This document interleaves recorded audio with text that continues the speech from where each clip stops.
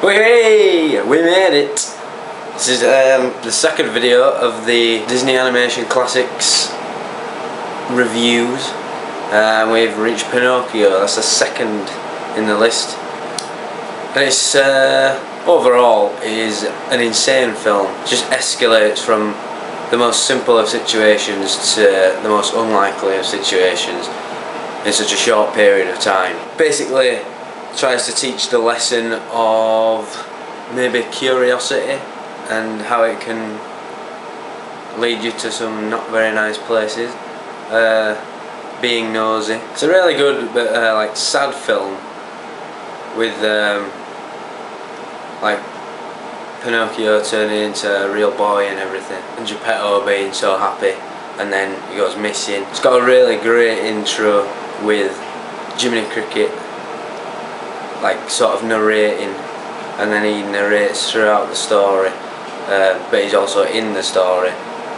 Uh, so they've done the way that they've done it is uh, it's really good. He is my favourite character Jiminy Cricket he keeps a keeps a calm head throughout the film. He's like Pinocchio's best friend and he's a cricket so it's funny. Uh, basically so he goes from being a boy to being captured or not really captured because he goes willing like kind of willingly to this sort of like big bad guy um, and he's got like all these kids and they're like smoking start like smoking like I think it's supposed to be like weed or something and then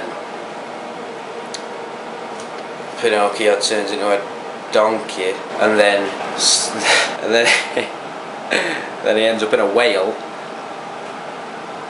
like out in the open water and everybody thinks he's dead. Again I won't give away the ending. Um, it'd be good to, if you watched it and then you could see what happens. So yeah favourite character Jiminy Cricket because of his kind of loose cool personality. Favourite scene is definitely the scene where they're smoking all the, the weird stuff and it's just going crazy. Giving it a um, 6.5 out of 10. It's not uh, my favourite, like you know, favourite film in the world.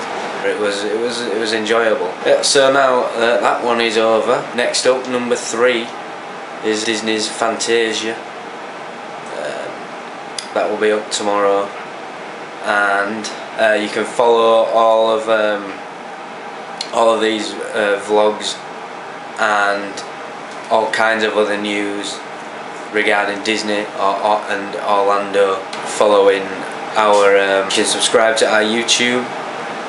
It's uh, the Disney guys. We have a Twitter and we have an Instagram as well. Um, I'll put the links downstairs.